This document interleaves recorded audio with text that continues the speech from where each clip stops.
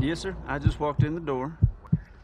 Sheriff, he had some sort of thing on him, like a oxygen tank for emphysema or something, and a hose that run down his sleeve. You got me. Well, you can look at it when you get in. Yes, sir. I got it under control.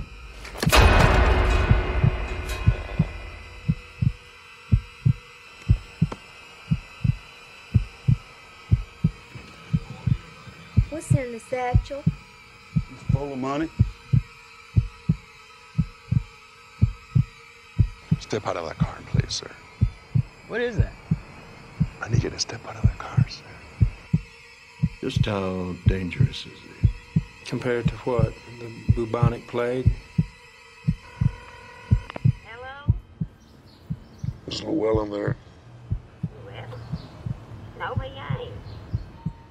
You expect him? Who is this?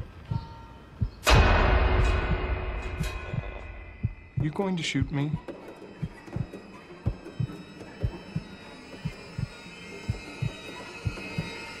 That depends. Do you see me?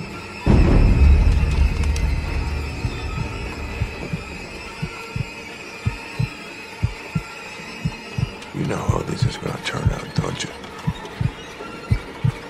Nope. I think you do. You don't have to do this. I'll always say the same thing. What do they say? They say you don't have to do this.